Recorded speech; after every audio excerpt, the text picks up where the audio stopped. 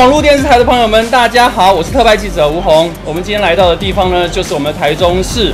那我们今天要采访一个很特别的人物。为什么我们今天要采访一个特别的人物呢？其实非常重要一点是在今年我们的润九月呢，在我们的嘉义慈贤宫，我们会举办一个群仙的蟠桃盛会。那这个群仙蟠桃盛会呢，其实在这么多的科仪、这么多的仪式的主办之下呢，其实有一个非常非常重要的灵魂人物，也是我们现在要采访的我们的何永龙何道长。嗯，大家好。好，那呃。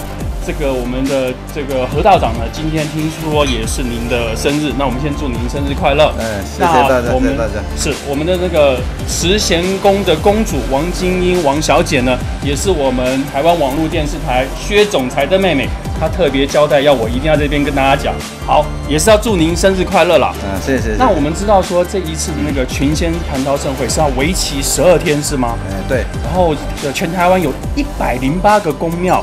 要一起来参加这样的一个盛会。对。好，那我们请我们的何永龙何道长呢，来跟我们说明一下，就是这次我们办群仙蟠桃盛会的一个目的。嗯，首先呢，呃，这次的盛会的那个主旨啊，就是蟠桃盛会齐天大教，呃，道场大法会。嗯哼。哎，是我是托了。王王母的圣意啊，来举办这次呃呃盛会。是。呃所有时间前后是十二天，嗯，但是我们先前布置就要要一个礼拜。哦，然后十二天完之后收收场要五天，所以总共会有二十四天的时间哇。来举办这次盛会。那我们这次的群仙蟠桃盛会啊。听道长的说明的话是非常非常的盛大。那道长可以跟我们说明一下，就是我们这次的群仙蟠桃盛会，我们十二天我们有做哪些的活动，哪些的科仪，然后整个流程帮我们做一个简单的介绍。啊，至于这次水上慈贤宫十二天的那个蟠桃盛会齐天大教科仪，我在这边呢概略的把主要的日期向各位来解说一下。是。然后我们今年有论九月份嘛，哈，然后论。九月十九日午时，啊，是论九月二十六日午时，会会先在慈贤宫水上慈贤宫的那个本庙那边先自立天台，哦，七天。然后论九月二十七日午时，会将水上慈贤宫的王母娘娘众神遗失，也是请请到啊那个我们这次要做啊齐天大教蟠桃盛会的那个会场去安坐，然后要论。啊，九月二十八日卯时，我们会启功发表，发奏成文，然后告文诸天，恭请三界众神莅临教会。然后前后到农历十月十号下午，啊小小普哦，这是我们是小普，我们针对是阳界众神哦。然后普渡师时候会谢坛，会谢坛，所以为此前后有十二天的教室，呃，大概哈，那那。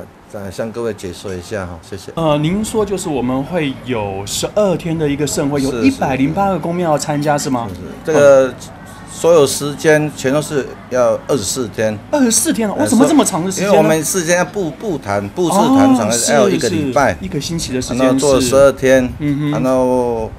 盛会完完成之后还有五天收场，是，所以前后有二十四天的时间。哇，那这么大的活动哦，是是。那这个活动的话，呃，就是能跟就是道长能跟我们说明一下，说这办这活动，我们最希望能得到什么样的一个结果呢？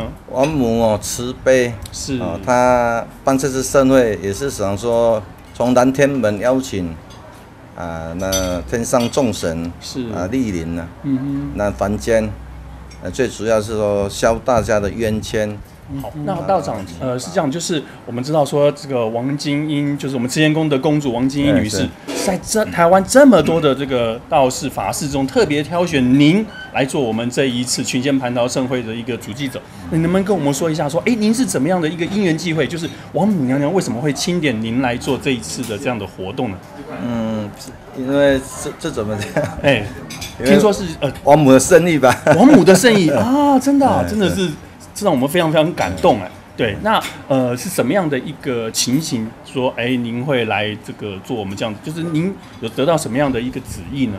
呃，据那个慈贤宫的那个公主是啊，那个王金英那个师姐，她是给我讲说是王母娘娘嗯哼，啊、给他讲说指定我去主持这次的教室，哦，是这样子的是是对，那呃，主持这样的教室有什么呃特别的地方吗？这十二天的活动这么多的一个的一个行程，能不能给我们简单的介绍一下？哦好，这是可以很多啦，是哦，大家看一下哈。好，没问题。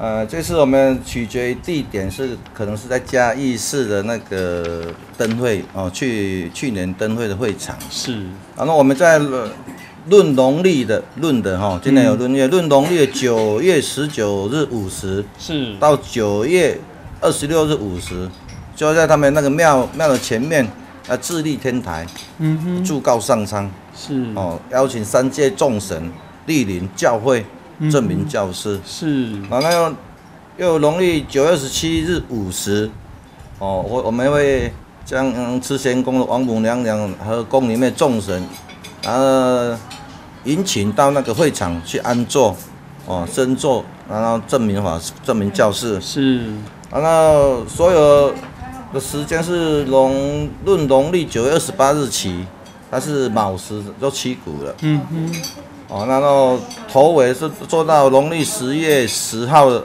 呃下午，嗯哼，哦下午那谢坛，啊，所以这个是这个流程之中十二天之中，它我们所做的课的涵盖的是我们道道教，哦，我们是呢中国道教四岸天师傅正一哎，正一派哈、我们是专办喜事而已，是，哦，专办喜事，然后针对这次我们台中哦西屯合错派林安坛，哦会安排十二天的那个教室，呃有关于说我们正义派所有蟠桃盛会的教仪、科仪，哦含啊呃有差不多九朝以上的科仪下去混合，是，哦，做这次的盛会，然后我们要邀请群仙，所以那些无极界的，啊上中下界的众神，哦，说我们这次做的可以是会比较不同，是，也比较独特，哦，在我们台湾来讲，是应该是有非常独特的一个蟠桃盛的可以。嗯，就我所知道，好像是呃有史以来第一次办这样这么大的一个盛会，所以我们诶、那个水上慈贤宫也邀请了一百零八间全国一百零八间的大庙来参与。一。百零八间哎是，对对，所以前后说应该是台湾今年最大的盛事。